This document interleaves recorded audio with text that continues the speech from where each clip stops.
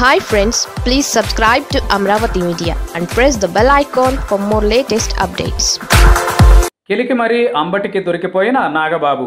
తిట్టించుకోకపోతే నిద్రపట్టదా నాగబాబు? మల్లెమాల సంస్థపై ఓ రాయి వేసి జబర్దస్త్ నుంచి బయటకు వచ్చి అదిరింది అంటూ సొంత కుంపటి పెట్టుకున్న నాగబాబుకి వృత్తిపరంగా ఈ ఏడాది పెద్దగా కలిసి రాలేదు.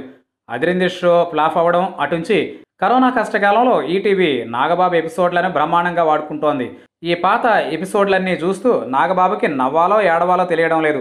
ఇక రాజకీయ పరంగా కూడా బాబుగారికి చీవాట్లు చేతికారాలు తప్పడం లేదు.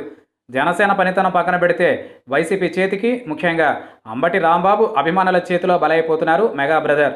కేవలం ట్వీట్లతోనే సమస్యలు పరిష్కారం అవుతున్నాయని పవన్ కళ్యాణ్ బిల్డప్ ఇస్తున్నారంటూ అంబటి రాంబాబు చేసిన విమర్శతో అసలు వివాదం మొదలైంది.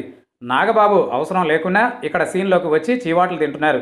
అంబటి పెట్టిన ట్వీట్లో చదవడం అనే పదాన్ని సరిగ్గా రాయలేదట.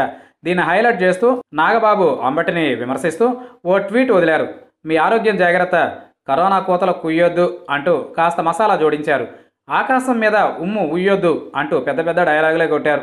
మామూలుగానే అంబటి వేళాకోళంలో దిట్ట. అందులోనూ నాగబాబు అలా గిల్లి వదిలిపెట్టాడు.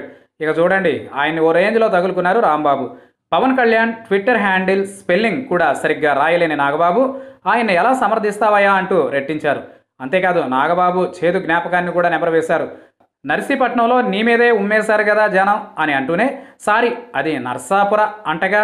రెండు లక్షల ఓట్లతో అంటగా? అని పూర్తిగా పరుగు తీసేశారు. ఆ తర్వాత నాగబాబు కాస్త సైడ్ ట్రాక్లోకి వచ్చి కేంద్రం నిధుల్ని వైసీపీ వాళ్ళు తమ గొప్పగా చెప్పుకుంటున్నారని మండిపడ్డారు.